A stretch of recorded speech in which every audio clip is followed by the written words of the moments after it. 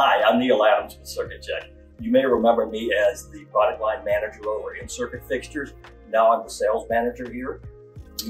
This is Bill. I'm Bill Crowther. I am the development engineering manager over at Circuit Check. And we're going to discuss the Vortex series today.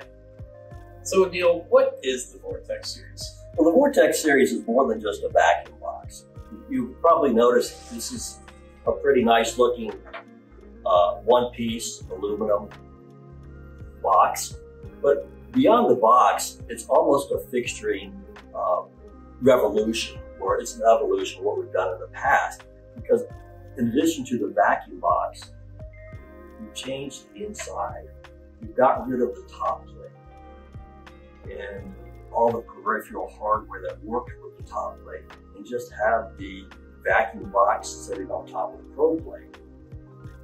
Vacuum is introduced to both the front and rear of this, and the board sits on a stripper plate, much like in our normal vacuum box fixtures. But the big thing is we got rid of the top plate. So that getting rid of the top plate forced us to redesign the entire kit so we could get the vacuum in place, pinch points uh, protected, and have all the hardware for holding the vacuum box hinging and latching in place. Bill, what benefits will our customers expect to see? One of the first large benefits of several is that the, the Vortex series really maximizes the small 3070 platform. Front to back and left to right. Another large benefit that was commonly requested from our customer is how can I get access to the top side probing for debug purposes. What we have right now on the Vortex series is that we have a rigid metal cover with an insert plate that can be easily removed.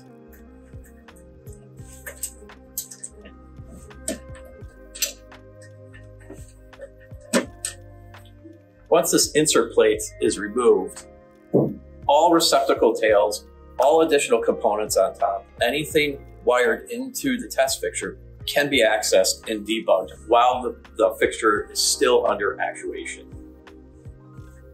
That's a huge benefit, Bill.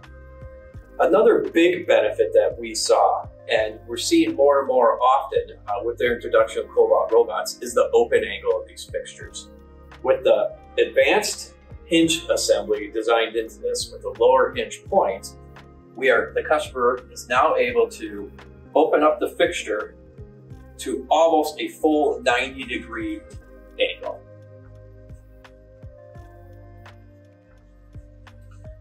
And as you can see inside the fixture, as was, as Neil mentioned earlier, is that we really reduce the component count, the complexity within the wear items by introducing a common stripper plate configuration.